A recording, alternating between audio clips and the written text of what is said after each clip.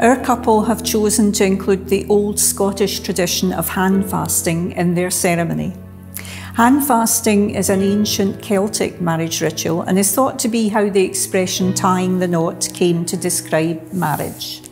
Long ago, this was physical proof that two people were legally married. Back then, they didn't have licenses, photos, or videos, but could keep their knotted tartan or other material as a reminder of their love and commitment.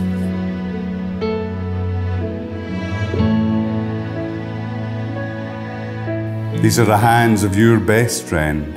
They're young and strong, they're full of love for you.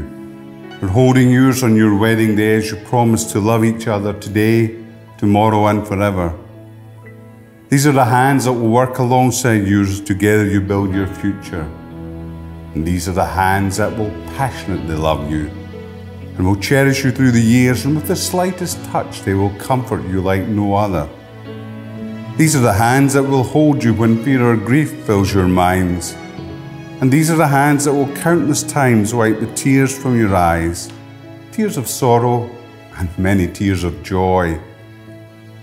These are the hands that will tenderly hold your children. They will help you hold your family as one. And these are the hands that will give you strength when you need it. But lastly, even when they're wrinkled and aged, these are the hands which will still be reaching for yours, still be giving that same unspoken tenderness with just a touch.